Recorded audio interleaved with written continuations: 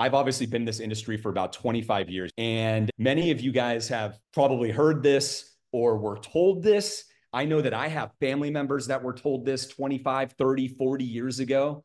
But being an artist used to kind of be a terrible business. Okay. And um, what did that mean? You know, and this is where the starving artist problem actually originated from. But it was because the business had high startup costs. Okay. It had high ongoing costs. So let's talk about those for a second. So you either needed to launch a gallery and you'd have to rent, you'd have to uh, uh, commit to a lease, you'd have to build out the interior, you would have to travel and go to trade shows, you would have to get art dealers or whatever sort of representation.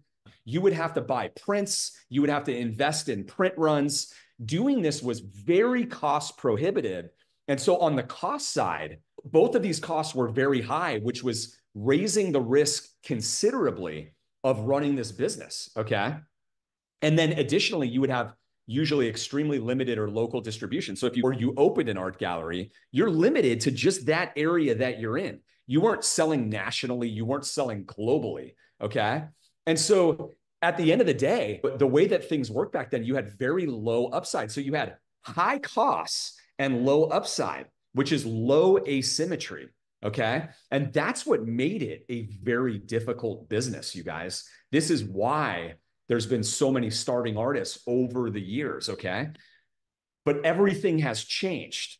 That's one of the most exciting things that you guys need to know about. All right. This is now one of the best businesses that you can start an art business.